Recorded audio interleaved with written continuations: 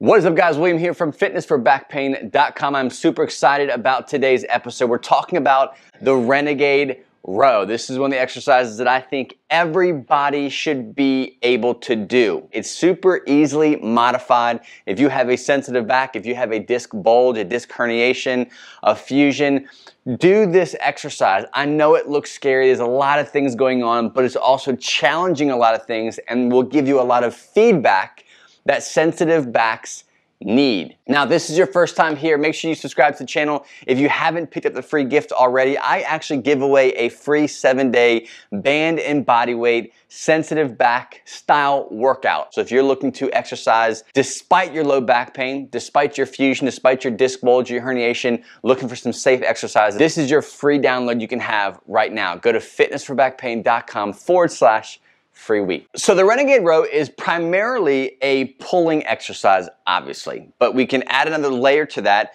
and that is core stability, right? We're looking at stabilizing the lower back, we're looking at stabilizing the hips, we're looking at trying to maintain a neutral position when doing this exercise. So there's a lot going on. So I wanna start with the easiest variation of this and then kind of go up from there. Now, if you don't know, the Renegade Row is essentially you're in this position here, you've gotten yourself into a neutral position, you're braced, your shoulder blades are backing down, and you've got some sort of weight here. It could be dumbbells, uh, depending on what you kind of have.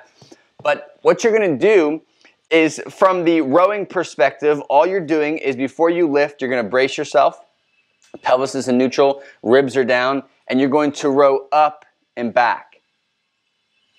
Here. So this is the simplest variation of the Renegade Row. And why I think this is such an awesome exercise is because one, you're working one side of the body.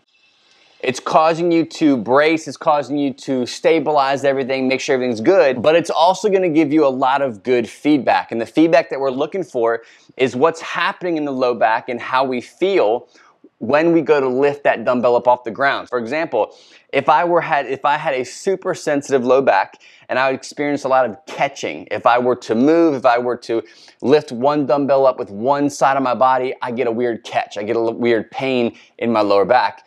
What you can do with this exercise is you can slow everything down. This is what I encourage people to do with the Renegade Row is before you go, get a good brace, everything's nice and tight, and I, instead of like just yanking it, which you see a lot of this in the gym, instead of doing that, get nice and tight, stabilize yourself, and pull the weight off really slow.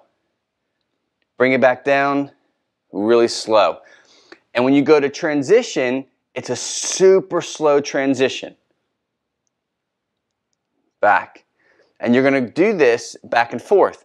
Now, what that's doing is it's giving you a chance to gain control over what's going on, gain control of the stability in the lower back. What happens often is we don't have a good this. Our trunk and core is not braced the way it should.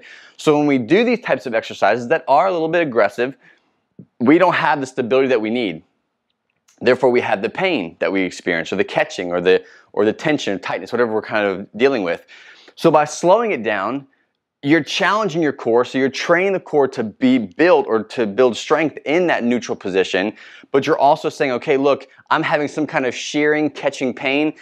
If I slow it down, I can focus more on the brace and then add that extra chaos, which is just the row. I can add that in. And if the pain goes away, if I'm not experiencing that catch, then hey, that's awesome because now you can do this exercise. But B, it shows you that it's a stability issue. You're having a stability issue and doing this type of exercises, exercise could be good for you. Now let's do the harder version or the hardest version of this is essentially it's the same thing. I'll give you something different angle to look at here. So I'm gonna have my weight, you can go as heavy as you'd like. I'm gonna do fully extended. So I'm here. Notice how I went into one leg at a time. I get braced from here. Then I go into my second leg. And from here, I'm gonna start out wide because the wider my feet are, the better of a brace or the better of a platform I'm pulling from. So from here, dumbbells are under my shoulders. I'm gonna start with my left hand here. So I'm gonna brace, get everything nice and neutral, and I'm gonna slowly pull it off and back down. Notice my hips are not doing this. I'm not doing, ugh, ugh. I'm not doing this, which you see a lot in boot camp classes and people who just are losing control because they're just trying to do the exercise. Get away from that. Here, nice and slow, braced, pull. Back down, slow transition to the second one. And I have more control over my body. So I'm not experiencing any shifting.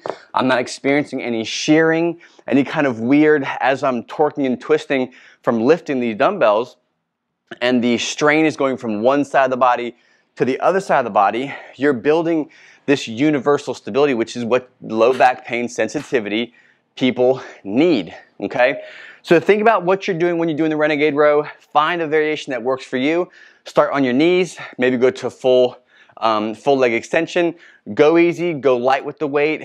Most importantly, go slow. That's it. Make sure you go over to fitnessbackpain.com forward slash free week and grab the free seven day back friendly workout that you can start doing immediately. That's yours. I'd love to know your experience with the Renegade Row. Is this a scary exercise for you? This is something that you've just never attempted because just there's too much going on. Well, I want to challenge that. But if it has been that experience for you, let me know in the comment section below, what is your experience doing the Renegade Row? Are you gonna do this? And if you do try it, let me know how it goes. Thanks so much for watching, guys, and I'll see you on the next episode.